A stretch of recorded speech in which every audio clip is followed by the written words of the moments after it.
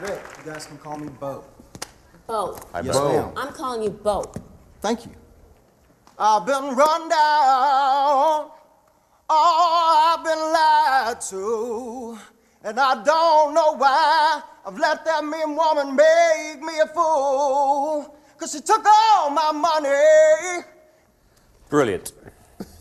I, it's, I was shocked that you sang Whipping Post. but One I'm, of my favorite songs. that's what I needed to hear. Why do you think you're the next American Idol? Uh, well, I think that American Idol could really use a kick of some some rock, some blues, Yeah. some soul. You know, Yeah. one thing that we uh, haven't really seen is somebody that gets up there and you know puts out the vibe of, of a of a rock star. John Stevens.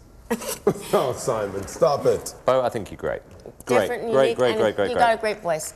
Yes? Oh, yes. definitely. Yes, yes, yes, Bo. Congratulations. Welcome to Hollywood Bo.